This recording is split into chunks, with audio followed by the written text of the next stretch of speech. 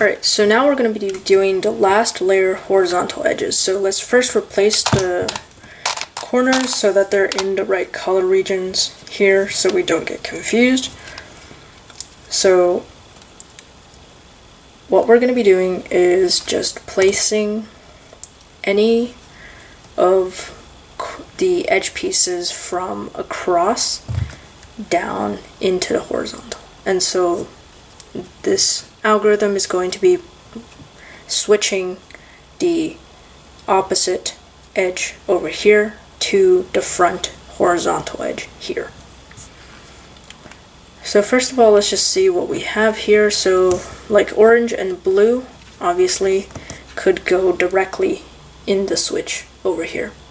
So blue is matching to the left side, and so whenever the top color is going to the left, we're going to be doing this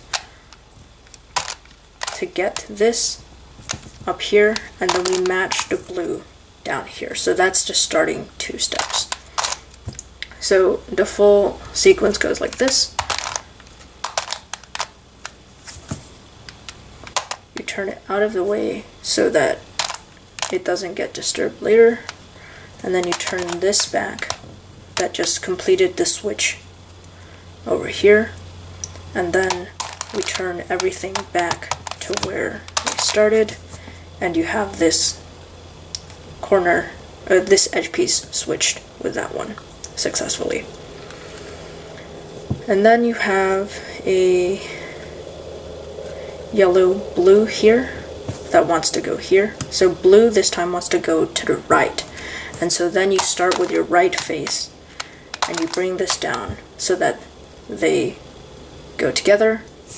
And then you twist this out of the way so that you have space for this to come up, this to go back, and this to go back to where it started.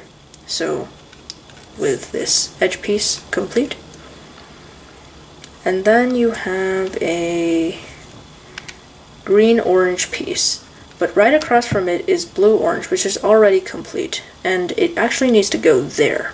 So what we need to do first is actually bring this corner, uh, this edge piece around to this position, right across from where it needs to go. So in order to do that, we can just do an edge cycle where we start off like this and then come down,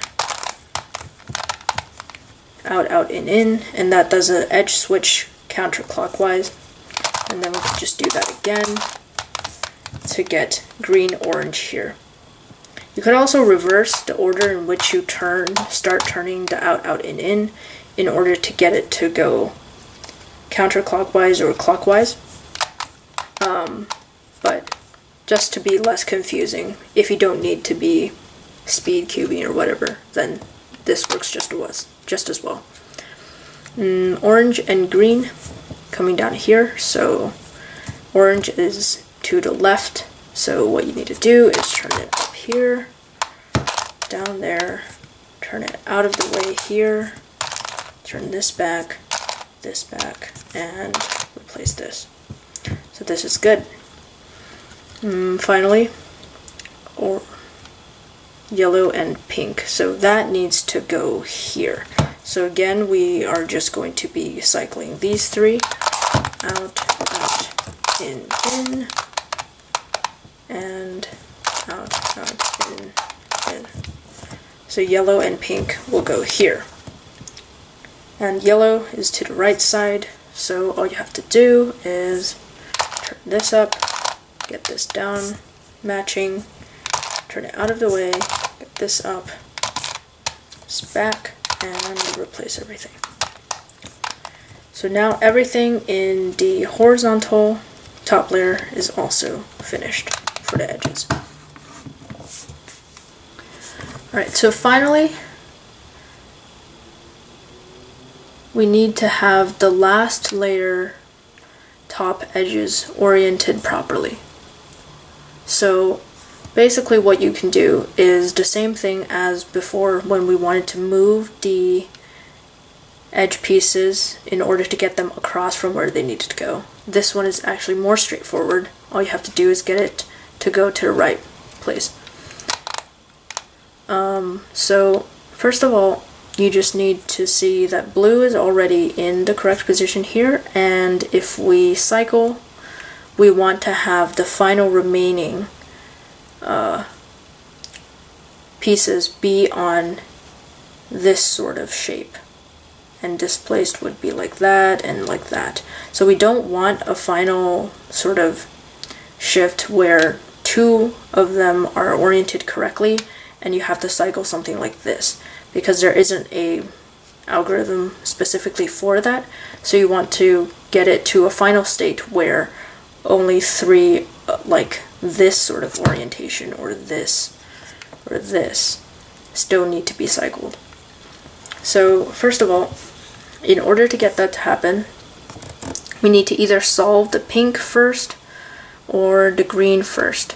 So what we can do here is just place the green over here. So that's just a clockwise rotation, and we can just do that with the out, out, in, in, starting from the left. So the green is already here, and then finally we're left with the three over here that need to be oriented. So this also needs to go clockwise. Same thing, easily enough, we get to here. So finally, we just have these two pieces that need to switch where the gray needs to come up for two pieces.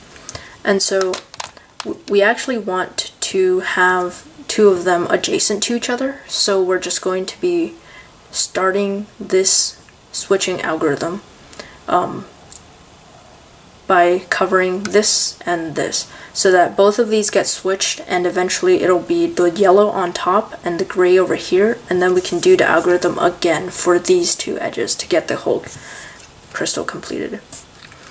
So this one's actually kind of long um, but kind also repetitive so that towards the end you're just undoing what you did before. So you start off with this corner facing you with these two corner uh, edge pieces that are going to flip.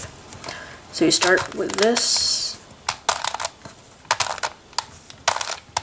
And note here that you're turning the entire cube counterclockwise so that another corner is facing you.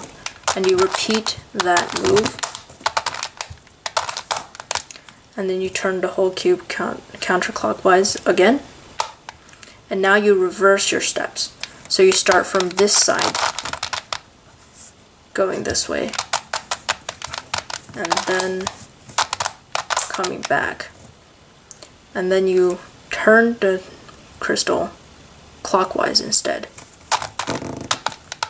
And then you do this.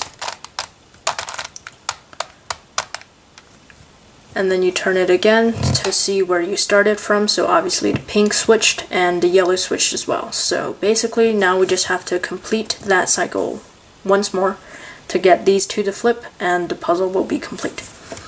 So just be careful when you're turning the whole cube because sometimes it is easy to lose track of where you are in the algorithm and then end up misplacing stuff. So turning it that way, and then this sequence,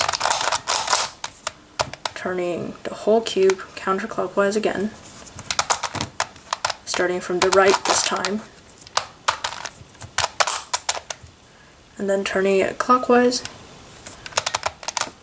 basically doing that whole edge shift cycle. And uh, there we have it you have a complete Pyraminx crystal. Thanks for watching.